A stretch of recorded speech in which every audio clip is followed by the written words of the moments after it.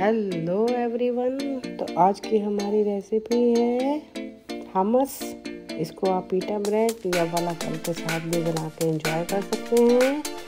लेकिन मैं आज इसको नेचर्स के साथ ही सर्व करने वाली हूँ. तो आइए झटपट बना के तैयार करते हैं. बहुत ही इजी रेसिपी है. आप इसको इस तरह से बना के ज़रूर ट्राई कीजिए. Welcome back to my channel fruit and cherry तो आइए हम स्टार्ट करते हैं बनाना। सबसे पहले हम तैयारी कर लेते हैं।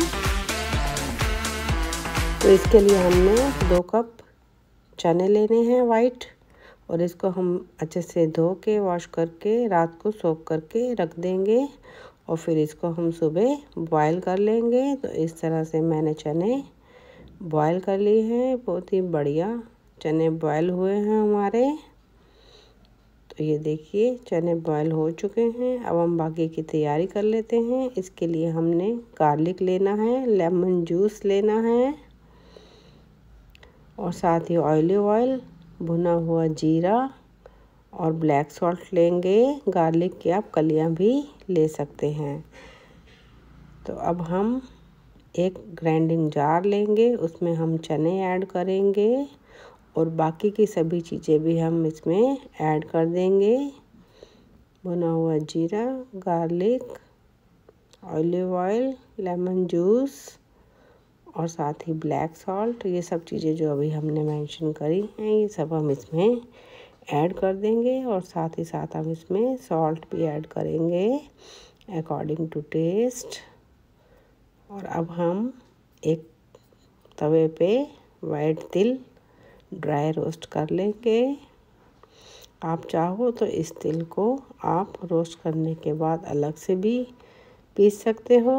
नहीं तो चने के साथ ही इसको हम पीस के तैयार करेंगे। क्विक एंड फास्ट बन के तैयार होंगे। तो मैं इसमें ही इसको ऐड कर देती हूँ और हम हम इसको ग्राइंड कर लेंगे।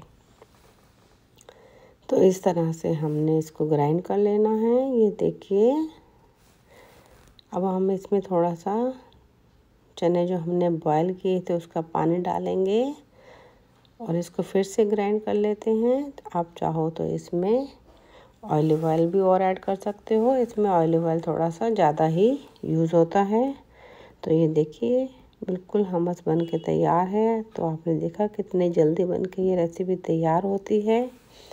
बच्चों को और बड़ों को सबको पसंद आती है। तो आप इसको इस तरह से बना के इंजॉय कर सकते हैं। तो अब हम इसको सर्विंग बॉल में निकाल लेते हैं। हमस बन के बिल्कुल तैयार है। तो अब हम इसको थोड़ा सा डेकोरेट भी कर लेते हैं। आप चाहो तो इसको थोड़ा सा डेकोरेट भी कर सकते हो, नहीं तो आप इसको जैसे चाहो इंजॉय कर सकते हो। तो मैं इसको थोड़ा सा डेकोरेट कर लेती हूँ। ऑयली ऑयल की हेल्प से हम इसको थोड़ा सा स्मूथ कर लेंगे इस तरह से। कोई भी शेप आप अपने टेस्ट के अकॉर्डिंग इसको दे सकते हो। तो ये देखा, देखने में भी थोड़ा अच्छा लगता है इस तरह से। तो हम इसको इस तरह से प्रेजेंट कर सकते हैं या आपको और भी जैसे अच्छा लगे। इस तरह से हमने इसको कर दिया और इसमें थोड़ा सा हम ऑलिव ऑयल भी ऐड कर देंगे। इस रेसिपी में ऑलिव ऑयल थोड़ा सा ज़्यादा लगता है, जैसे कि मैंने पहले भी कहा था। अब हम इसमें थोड़े से चिक पीस भी रख देते हैं, यानी कि वाइट चने तो ये रेसिपी हमारी बन के बिल्कुल तैयार है। मैं इसको थोड़ा सा डेकोरेट कर लेती हूँ। अगर आपके घर में गेस्ट आए हैं तो दिखने में थोड़ा सा और भी अच्छा लगता है। इस तरह से मैं इसको थोड़ा सा डेकोरेट कर देती हूँ। तो आई होप आपको ये वीडियो पसंद आई होगी। अगर आपको पसंद आई हो तो लाइक एंड शेयर करना ना भूलें और इस तरह से आप इसको एंजॉय कर सकते हैं। तो ये सर्व करने के लिए बिल्कुल तैयार है। हमस विद नेचर्स आप चाहो तो इसको पीटा ब्रेड या फलाफल के साथ भी इंजॉय कर सकते हो।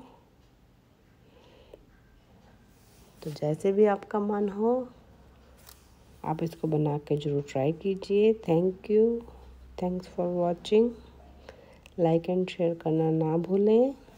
Thank you